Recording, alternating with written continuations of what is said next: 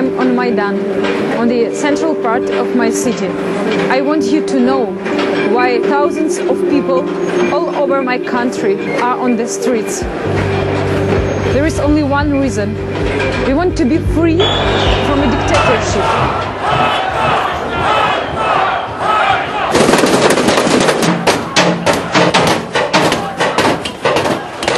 Un messaggio per colpire l'attenzione del mondo, un video per dare un volto a una rivoluzione. Quello di Giulia, 24 anni. One morning I got up Una mattina mi sono alzata e ho saputo dei primi morti sul Maidan. Ero molto impressionata e ho scritto quello che provavo a un mio amico americano, il regista Ben Moses, e lui mi ha detto raccontalo subito davanti a una telecamera. camera Il video, postato su YouTube, diventa subito virale. Oltre 7 milioni di contatti in pochi giorni accendono i riflettori su un massacro in corso nel cuore di una capitale europea. È difficile credere che sia davvero potuto succedere. hard to believe. It's still hard to believe.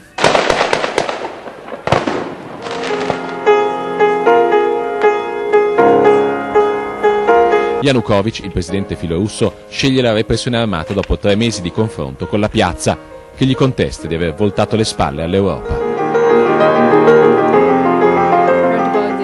Quando abbiamo sentito dello stop all'accordo di associazione con l'Unione Europea, sono venuta qui con i miei amici e la mia famiglia. Siamo rimasti in piazza per dare il nostro contributo alla protesta. Martedì 18 febbraio i manifestanti marciano sul Parlamento e la polizia spara. Scoppia la battaglia, Kiev si infiamma, la sera si contano almeno 28 vittime. Le forze di sicurezza cercano di sgomberare Piazza Indipendenza, il Maidan, luogo simbolo della rivolta, che brucia nella notte. maybe policemen will murder us one after another when it will be dark here. Giovedì mattina i manifestanti tornano all'attacco con pietre e bombe molotov.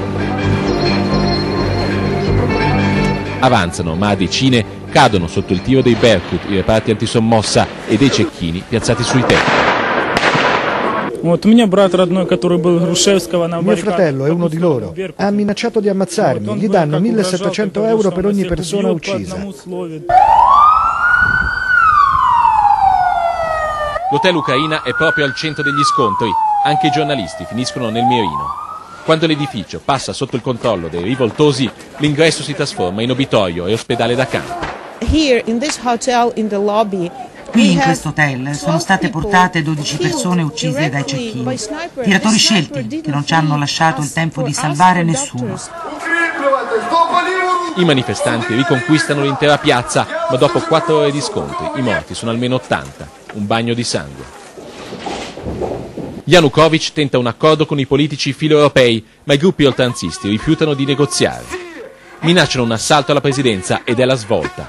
Il presidente fugge nella notte in elicottero. Il mattino dopo i palazzi del potere sono in mano alle milizie cittadine. Uscite ora dalla presidenza, se n'è andato? Sì, tutte le stanze sono vuote. E dove è andato? Forse a Kharkiv o in Russia, magari a Sochi, ma lo troveremo.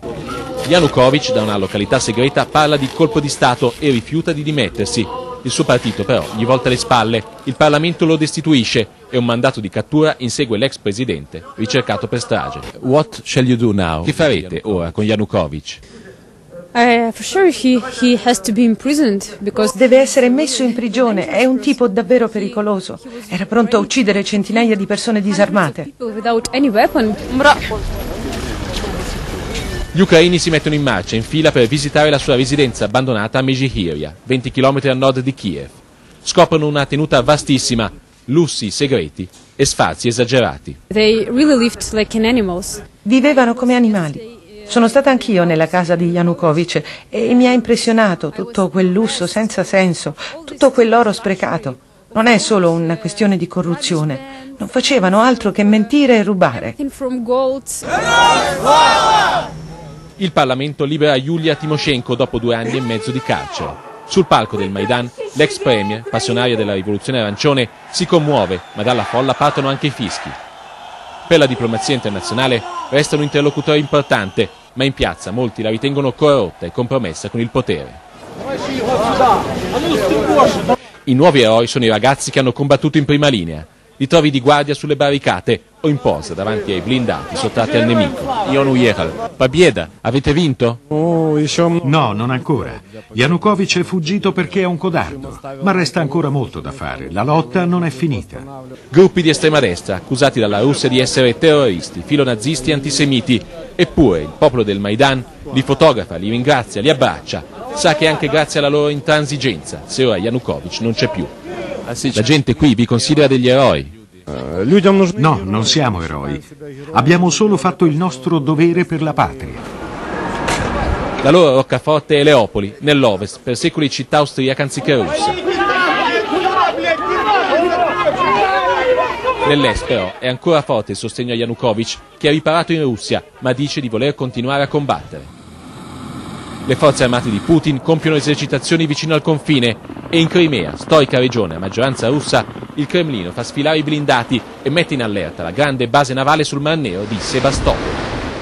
Paramilitari bloccano le strade, occupano gli aeroporti e ammainano la bandiera giallo-blu ucraina per fare spazio al tricolore russo. They were taught by television that here some people from western La televisione gli ha detto per mesi che persone dell'Ovest vogliono distruggere l'Ucraina. Non è mai stato vero. Qui in piazza la maggior parte di noi non è estremista né radicale. Vogliamo solo una vera democrazia. Se nell'Ovest e a Kiev distruggono i simboli del comunismo, dalle statue di Lenin alle stelle sovietiche, in Crimea il 25 maggio, giorno delle elezioni, i filorussi terranno un referendum che punta alla secessione. È sfida aperta al popolo del Maidan che resta in piazza e non smantella le barricate. I want these people who are here, who have dignity, who are brave, I want them to live a normal life. We are civilized people, but our governments are barbarians. That's not a Soviet Union. Eppure l'Ucraina, sull'ollo del default senza il gas e i prestiti di Mosca, rischia di spaccarsi a metà tra filo europei, padroni nell'ovest e a Kiev, e filorussi, forti nell'est e in Crimea, dove poco fa fonti governative ucraine hanno denunciato l'invasione russa con 2000 paracadutisti. That's why I ask you now to help us. We have this freedom inside, inside our hearts. We have this freedom in our minds. And now I ask you to build this freedom in our country.